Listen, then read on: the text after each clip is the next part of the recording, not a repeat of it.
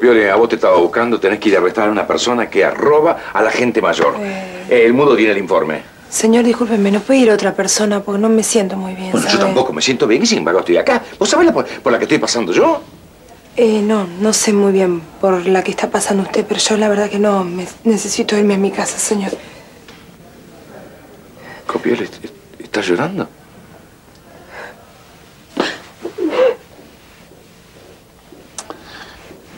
¿Qué pasa? ¿Qué pasa? Mm. Sí. No, señor, discúlpeme, ¿me, me puedo ir a mi casa? Gracias, señor. ¿Qué pasa que Copioli sigue llorando? ¿Usted sabe por qué llora? Sí. ¿Y? ¿Y qué?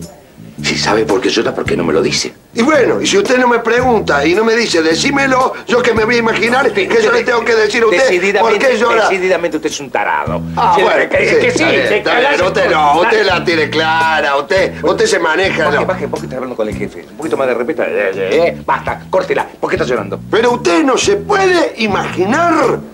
No puede, no tiene imaginación. No tiene imaginación, Hable para otro lado. No, señor. me, me está escupiendo, me está inundando los ojos. Hable para otro lado. No se puede hablar con una persona que permanentemente tengo que esquivar. Hacer así, así. Escúcheme, ¿qué estamos, estamos todos locos? Dígame por qué está llorando. Haga la corta. Está llorando por Tomás Ledesma. ¿Por quién va a llorar? ¿Por quién va a llorar? Basta, escúcheme, usted tiene que ir a arrestar ahora a una persona que está abusando, robando a gente mayor, ¿eh? Hágame el favor, haga el arresto. Yo primero ¿Qué? voy a ir a arreglar un tema con Tomás Ledesma. Y después voy a arreglar lo que usted me está pidiendo. Voy a ir a arrestar. Usted va a hacer lo que yo digo, escúcheme.